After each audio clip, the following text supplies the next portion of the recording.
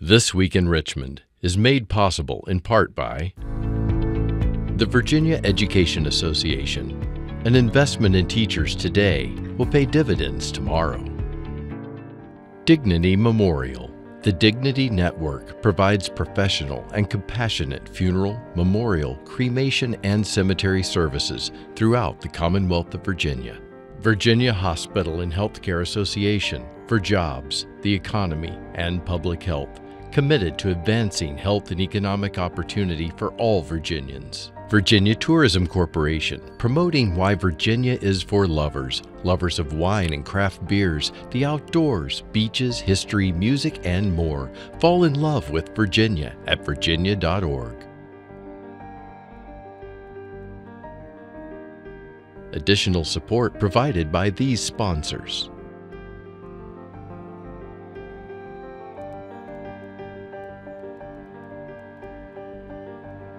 And by the members of Virginia's public television stations. Thank you.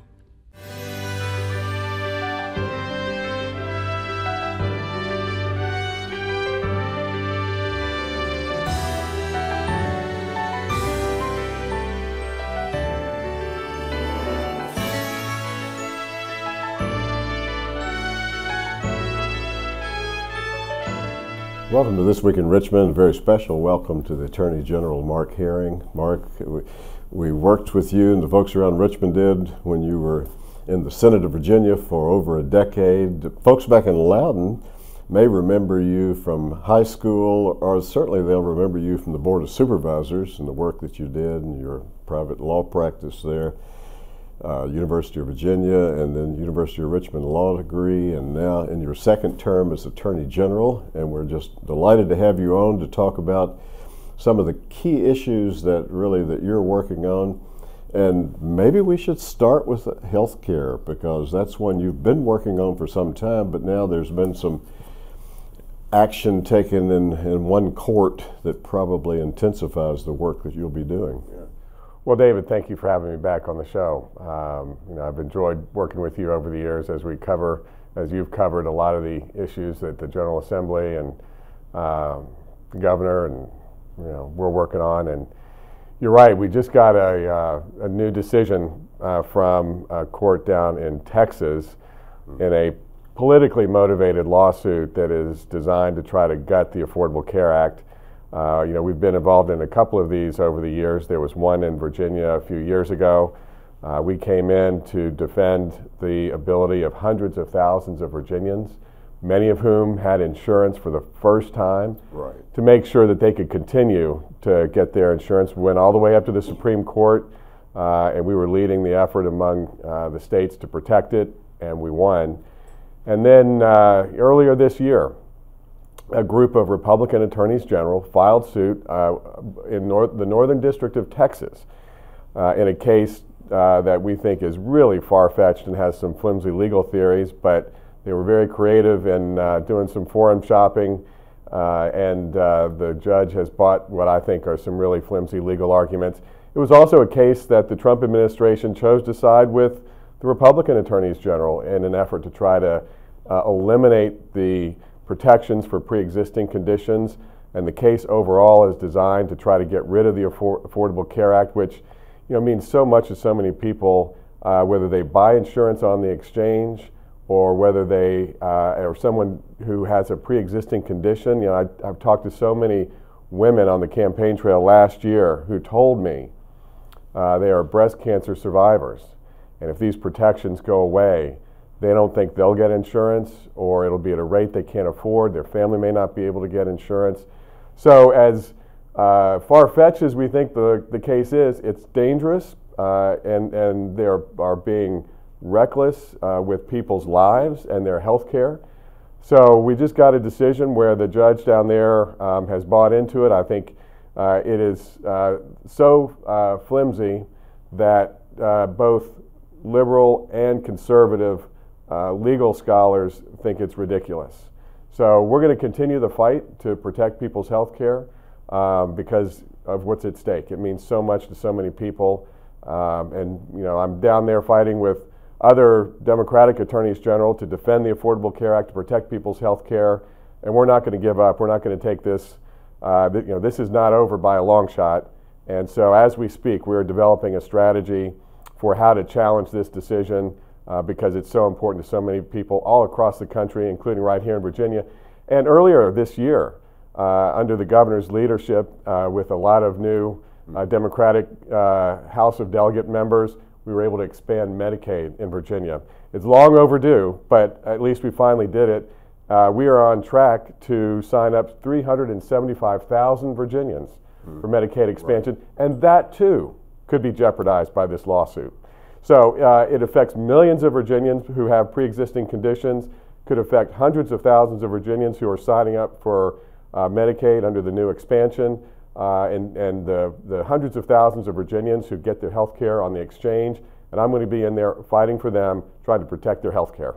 Now, for those who don't have a Juris Doctor degree or haven't really studied it that much, what is, is the next step the U.S. Supreme Court, or is there a step in between in the fight on that issue? Well, this is at a, a, trial court in the Northern District of Texas. The normal course when you go up on appeal is through the Court of Appeals, Federal Court of Appeals, and then to the Supreme Court. Frankly, I think this case is so uh, ridiculous, it should never make it to the Supreme Court. But should they try to push it, you know, we will do whatever we can to protect people's health care uh, because it's so important.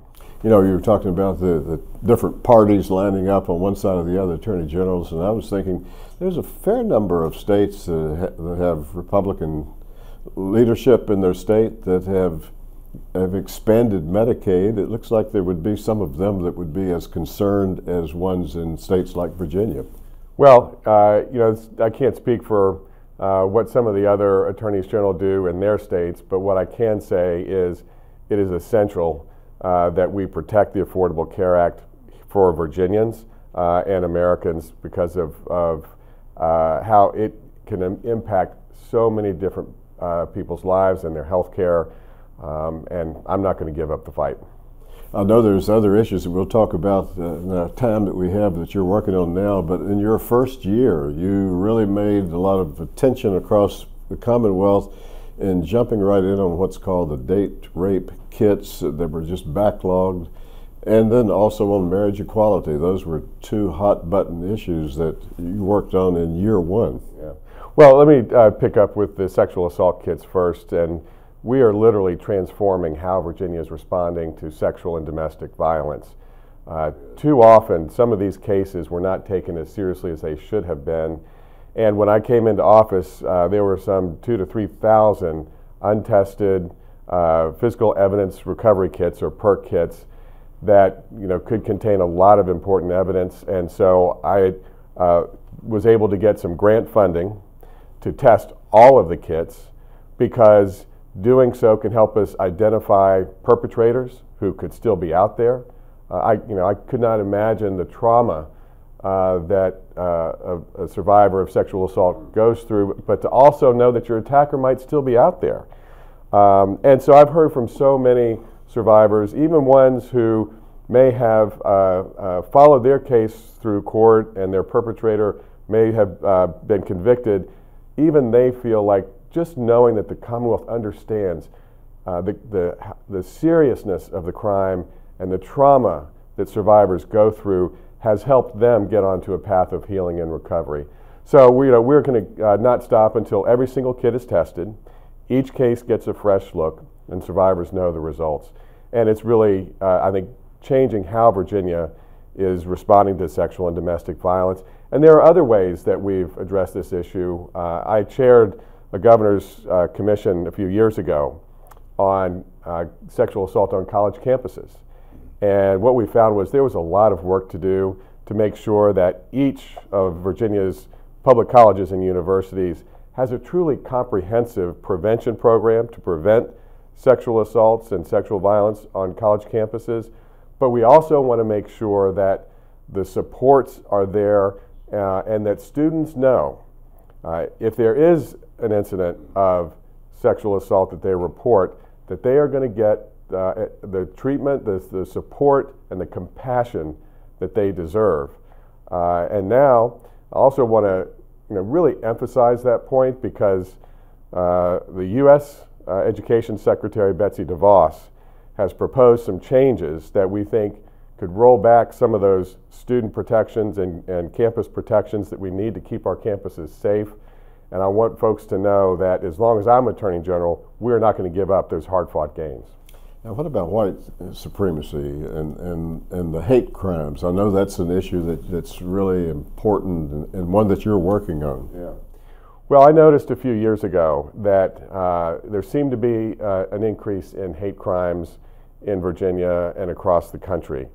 Uh, and, you know, I've seen it with uh, uh, graffiti spray painted on, on bridges or, or walls, uh, vandalism in mosques, threats to uh, Jewish schools uh, or synagogues. And you know, it seemed to like m- with the campaign from 2016 and, and the election of President Trump and his actions after that, that these tensions, the divisions, have only accelerated. And the, what happened in Charlottesville a year ago in August should have been a wake up call to everyone mm-hmm.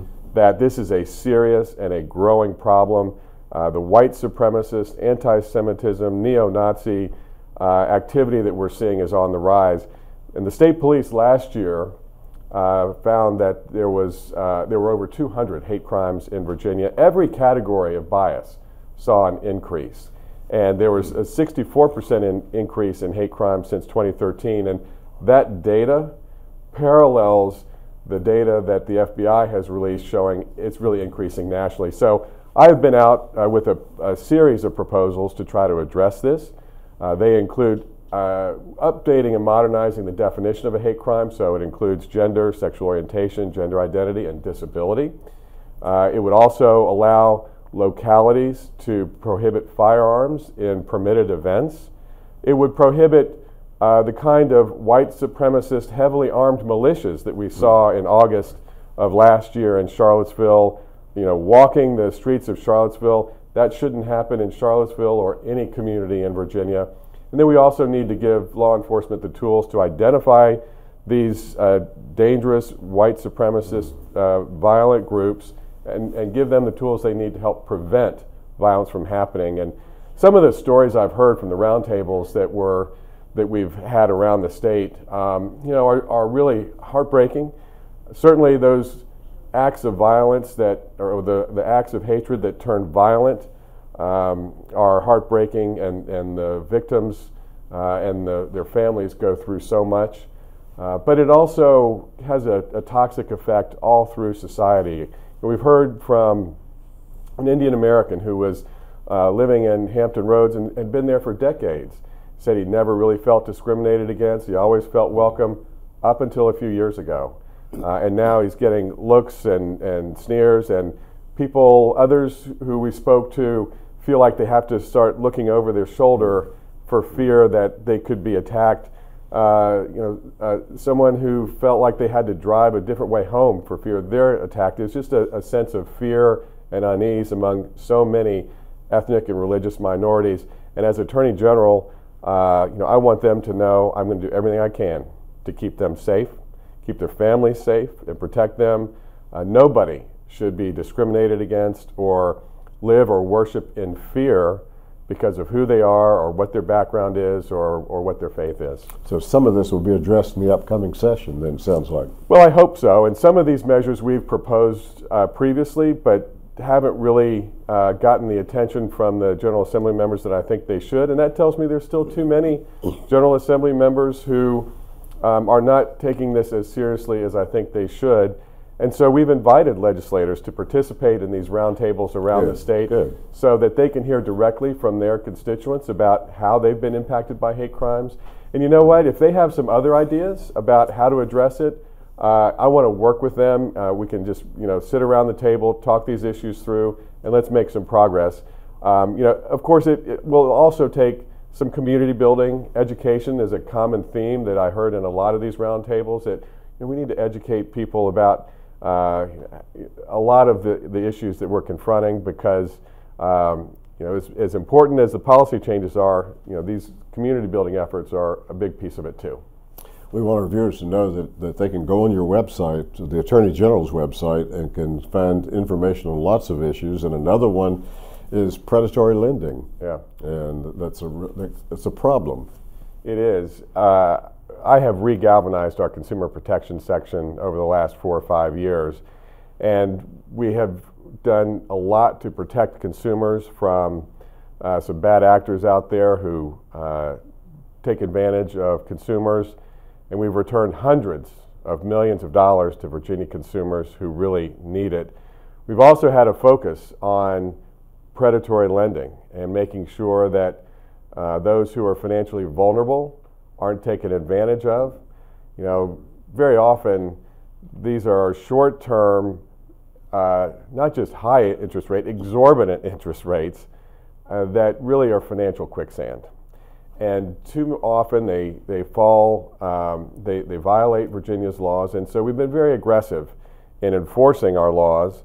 I also think we need some stronger laws, but I'm going to use the tools I have to protect Virginians. I'll just give you one recent example. Uh, a company called Future Income Payments was singling out uh, older uh, retirees and, and military families for their pensions and claiming that they were helping them with a, a pension, a purchase of their, a portion of their pension. In effect, they were disguised loans at exorbitant interest rates that uh, were really predatory. Uh, we were able to get almost $50 million in uh, debt relief uh, and other, other penalties, and over a thousand Virginians, uh, most of whom were either uh, military veterans or retirees with pensions. Over a thousand Virginians had been harmed by this, and so we were able to get over $50 million in relief for them and, and other penalties. I think when people are on the website, as, as I have been researching, they'll see that consumer protection part and three easy steps of what to do. So it's it's right there for them. But now an- another subject: the need for reform in Virginia's cash bail system. What's what's that about that you're working on? Well, cash bail is uh, one piece of our larger effort to help reform our criminal justice system in a way that makes our system more fair while at the same time advancing our public uh, safety goals. And right now, Virginia's cash bail system, I've called for uh, reform of it because too often it is a system that determines who has wealth rather than who is really a risk to the community.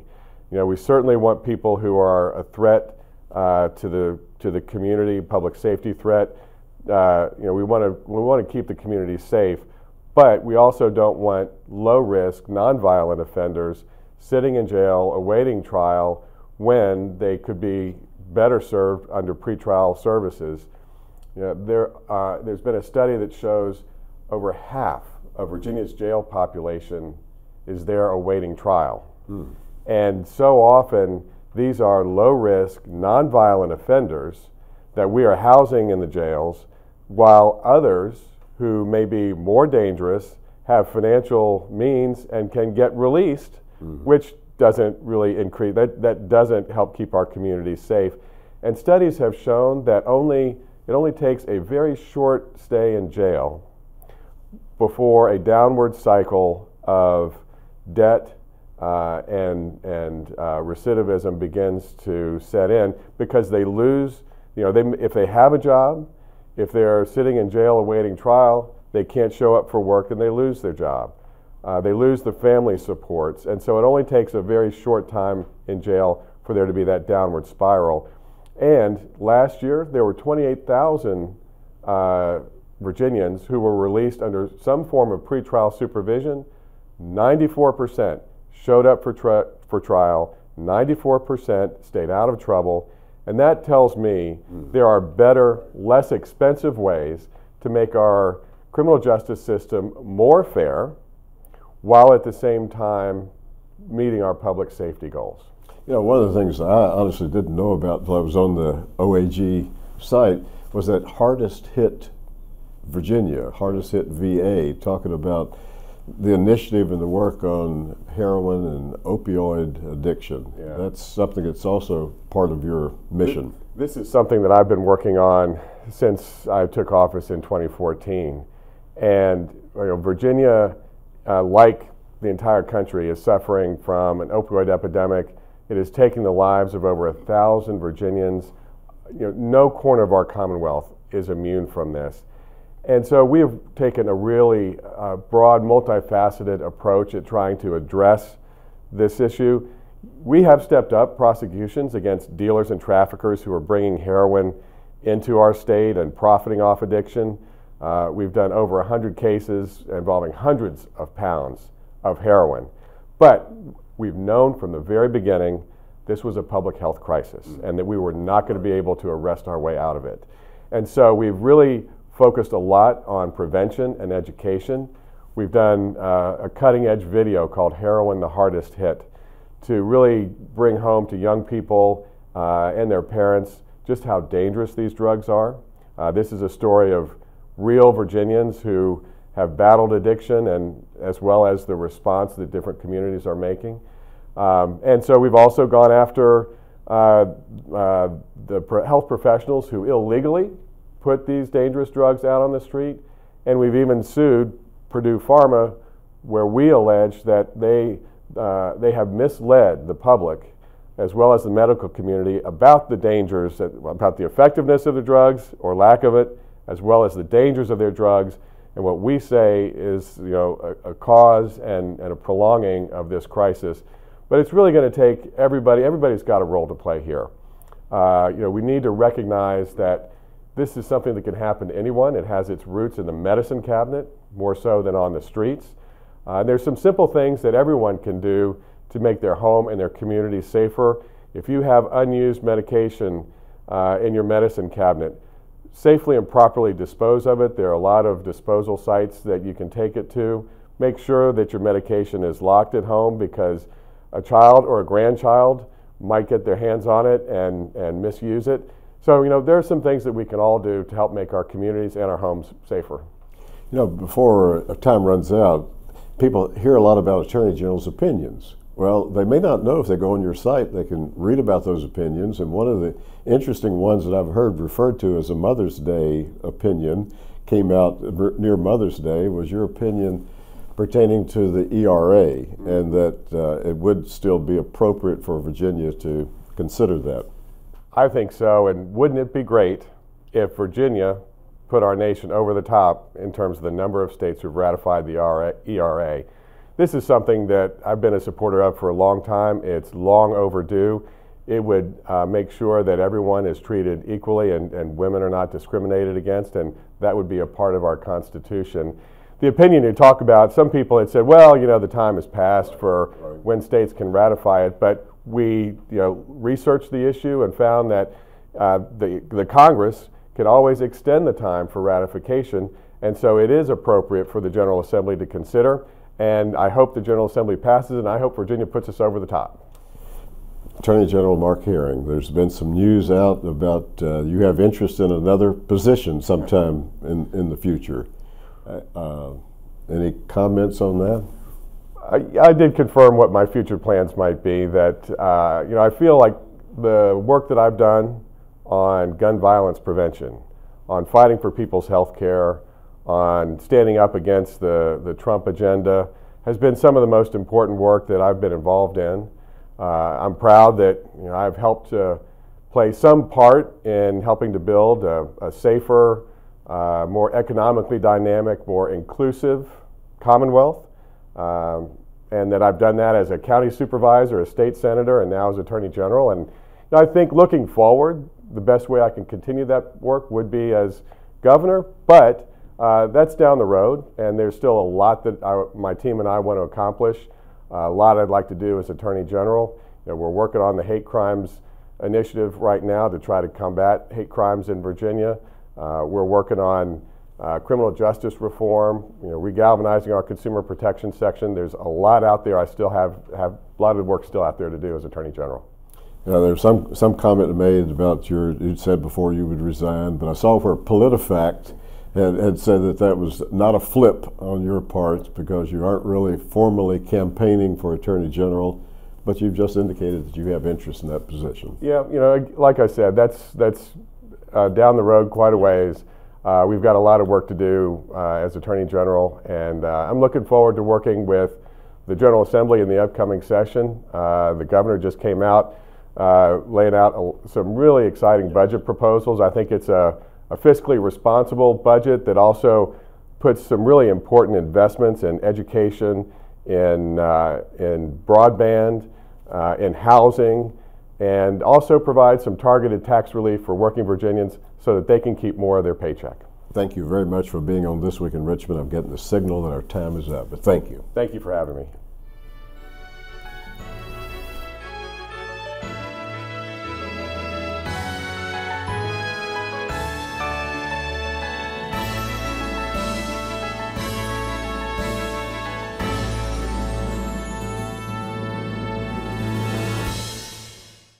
This Week in Richmond is made possible in part by the Virginia Education Association.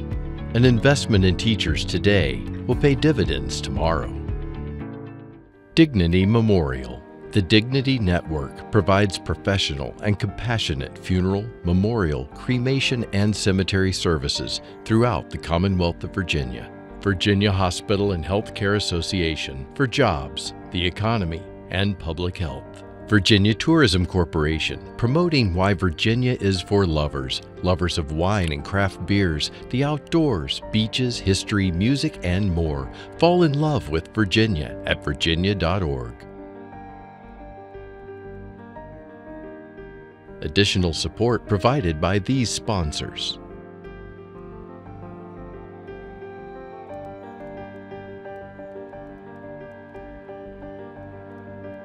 And by the members of Virginia's public television stations. Thank you.